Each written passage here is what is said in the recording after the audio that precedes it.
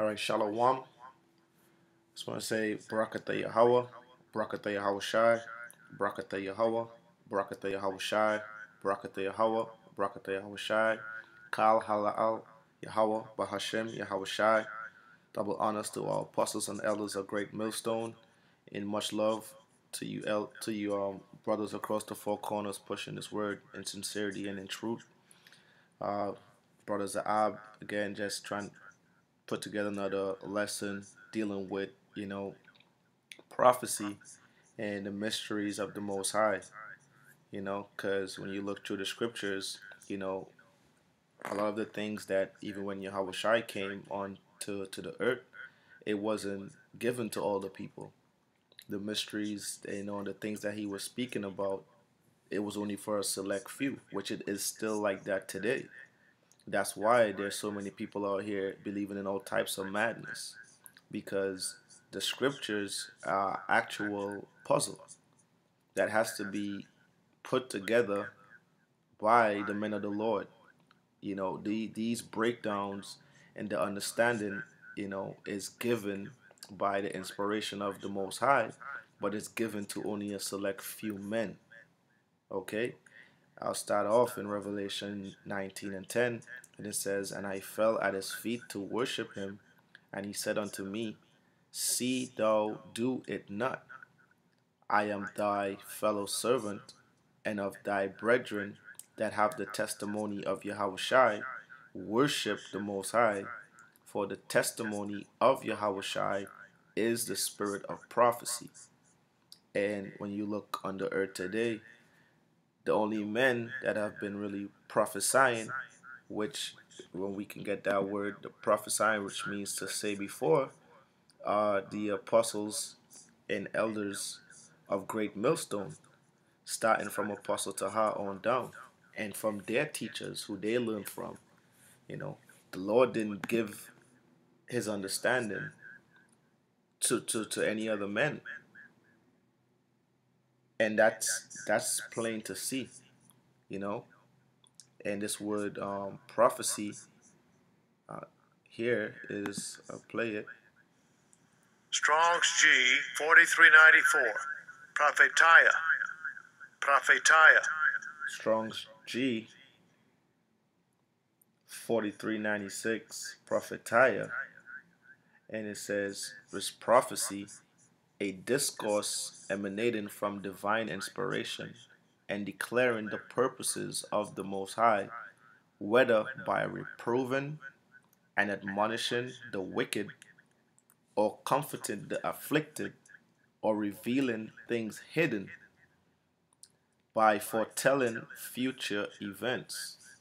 So it's to say before in you know future events like the microchip these things were being prophesied by the apostles and, and elders for years for you know and now it's coming to pass. So these are things that we can see you know right in front of us. Also it says what um reproving and admonishing the wicked. You know and they do that we do that all the time. Now when you look at the Christ, christianity they say come as you are they don't admonish faggots, curse them out, tell them they have to repent. They don't. They don't. You know, reprove um, idolatry. They don't reprove people that are that are into to um, adultery. They accept all of that, and they told you come as you are, and the Most High is going to accept you once you um, believe on His name. You'll be okay. You'll be safe.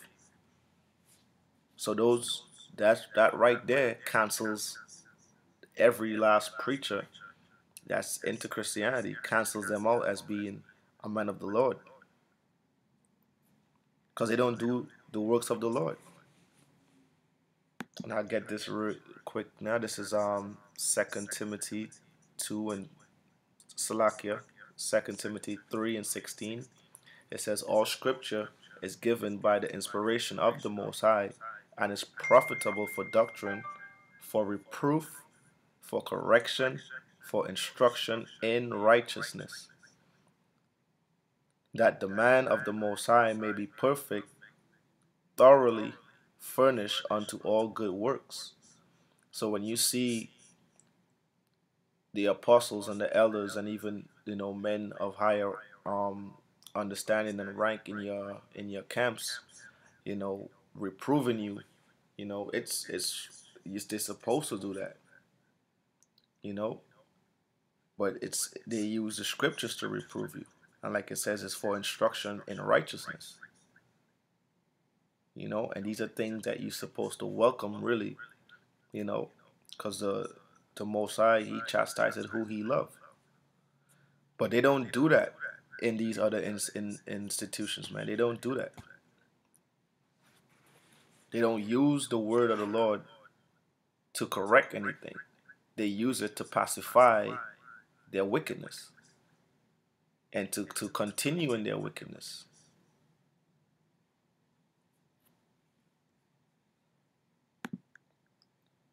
This is Amos 3 and 7.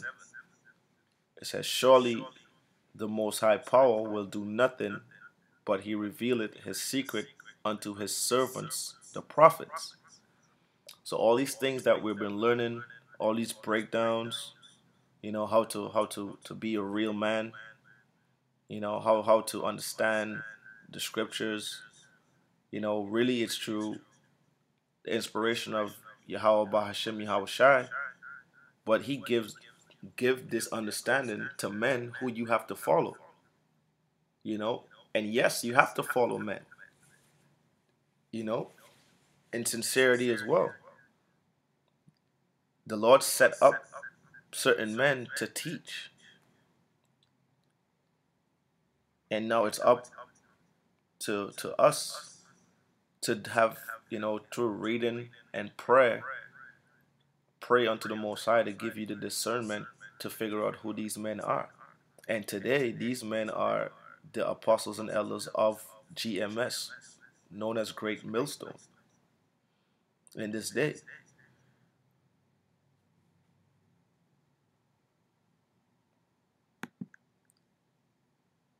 It says, this is Job 32 and 8. But there is a spirit in man, and the inspiration of the Almighty giveth them understanding. So, you know, we have the Spirit, but it's the Most High that gives these men understanding. That's why when you see them, you know, bringing out different breakdowns and, and being, you know, have different things revealed unto them as the Most High dealing with them. No one else is bringing out the the prophecies like the, the apostles and the elders. No one else is is is showing you know growth in terms of their fruit like the apostles and elders. You know, so which means the Lord is giving them that understanding, as it says here in Job.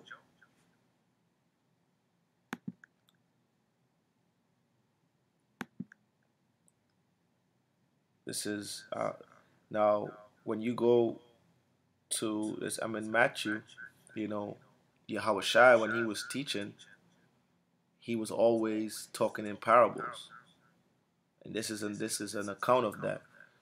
This is Matthew 13 and 9. It says, Who had ears to hear, let him hear.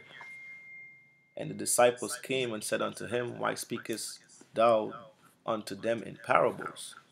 Now let's get that word parables real quick.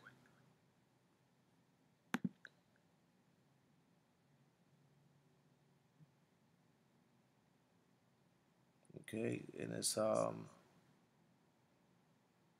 is it's really a dark saying. Parable figure comparison, placing one thing by the side of another, juxtaposition as of ships in battle.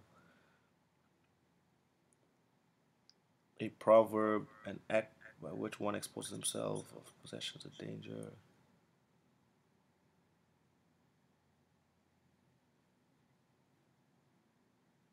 Salakia, but it it it, it goes into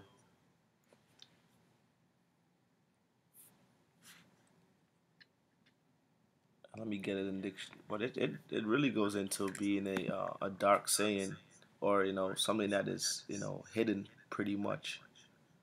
And Salakia, I can't pull it up here. Maybe I can get it in um Let's try. Let's see what they say in dictionary.com. It says a short allegorical story designed to illustrate or teach some truth, a religious principle or moral lesson, a statement or comment that conveys a meaning indirectly by the use of comparison, analogy, or the like. So, you know, like, you know, not really giving the whole thing, but, you know, indirectly, you know, saying what he what he's saying, you know, it, it, it's like like I said earlier, like it's a puzzle. It says, And the disciples came and said unto him, Why speakest thou unto them in parables? And he answered and said unto them, Because it is given unto you to know the mysteries of the kingdom of heaven, but to them it is not given. So right here, Yahweh is letting them know this is not for everybody, man. You know, quiet as it's kept, the Bible is not for everyone. The Bible and the mysteries of the Bible is for a select few. You know, and there's there's there's examples of this, you know, in in in the world. There are many clubs and institutions that are that the average person just can't get into.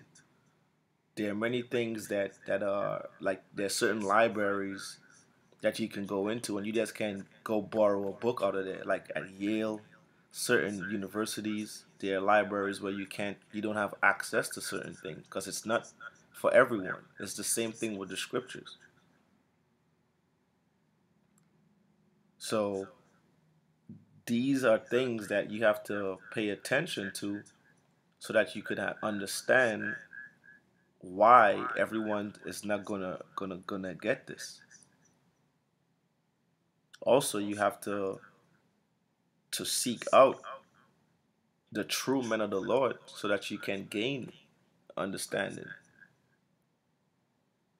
It says, says 13 and 12, For whosoever had, to him shall be given, and he shall have more abundance. But whosoever had not, from him shall be taken away, even that he had.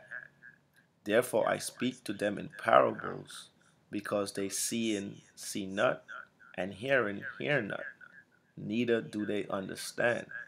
So even if he t- tells them or they see what he's doing, the Most High is blocking that. The Most High is, is not allowing them to understand it because it's not for them. And Yahweh Shai knew this, and he was just trying to let the disciples understand that because they didn't understand well why you know why was he speaking to them like that you know but when he came amongst them, he spoke to them as friends, as it as it says further down in, in, in this book in Matthew. And it's the same thing with us. You know, a lot of things that the apostles and the elders, you know, they reveal to us. They don't reveal that to to to the regular Joe. You don't see the apostles going around the country visiting, you know, random niggas. No, they go to the churches. They go to their to their fruit and they sup with us. They and they teach us different things. And they show us through their examples how to behave, how to approach different situations, you know, what you need to do in order to grow. And all this is necessary but once again, this is all through the power of Yahweh Ba'ashem Yahweh Shai. And everything that they do, they give honor unto that name, which is also very important. So, you know, with that, it is one to make like a quick lesson, you know, just, you know, constantly understand that, you know, the prophecy is the spirit of the Lord. You know, the understanding of this book comes through the inspiration of Yahweh Bahashim Yahushai, and that these mysteries that we're that's being revealed unto us is a special thing, and it's not for everyone, and we should cherish that. So with that, just want to give all praises unto Yahweh Bahashim Yahweh Shai. Double honors to our apostles and elders of Great Millstone who rule well And much love unto you, Akim, across the four corners pushing. Shalom.